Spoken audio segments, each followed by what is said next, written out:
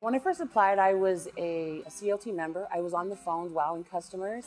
It was kind of a challenge because where I've come before, because I worked in call centers, we were always telling our customers no. But working here at Zappos when I first started out was amazing because they gave us all the tools to be successful. I've been here 12 years straight.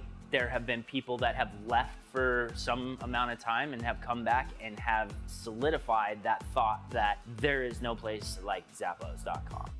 You come to work wanting to come to work, not regretting, oh my God, what's gonna happen today? I don't wanna be at work. But I love it. You wake up in the morning and you're happy and you know you're coming to a happy place.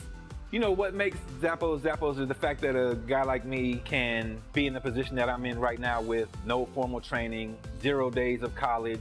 It was always very important to us to make sure we pick the absolute best people because I feel like that's important in the continuation of our culture. I remember one time we had this company party, and in the middle of the night, he was walking around giving out tacos. I mean, what other CEO would do that? And that sticks with you. And to me, wow is really not just meeting, but exceeding expectation. And that's in our work with understanding customers is we need to understand their expectations so that we can exceed them. Zappos invests in their employees. And from the people to the events to the activities, one of our core values is to be a little weird, and we definitely have that here.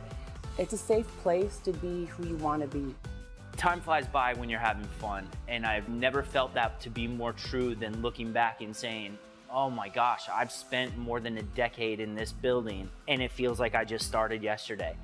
Never before Zappos have I experienced this kind of really innovative company culture, culture that puts employees uh, as people first. It's just great that we can have the fun that we do while still doing what I feel like is important work.